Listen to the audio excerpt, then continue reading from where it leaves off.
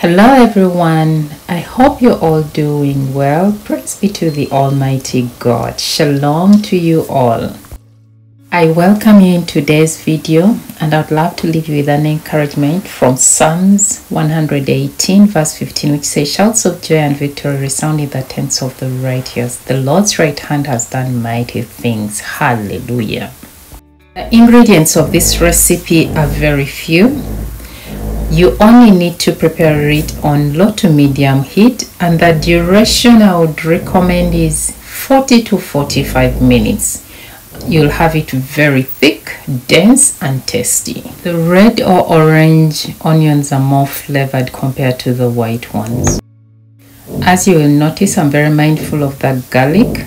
I just press it so that I can release more of its scent to the stew but I wouldn't want to leave it in at the end because it will be too strong to be eaten. But then if you want garlic and you enjoy it you can leave it. However at the end I often remove it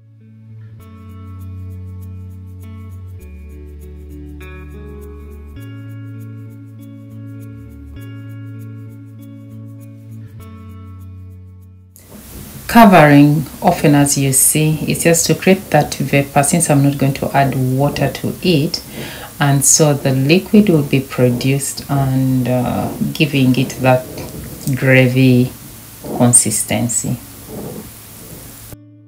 And voila the plate is ready to be served and enjoyed. And behold you can now have uh, an authentic Italian peperonata plate on your table. I hope you enjoy it if you've never tried it. And if you have peppers, please, they are very, very, very amazing to make a stew. Let me know in the comment section how you prepare yours, how you do it. But here with our ugali, it is so amazing. Thank you for watching until the end. I love you all. God bless you and your households. Please subscribe support me grow the channel. See you in the next video. Bye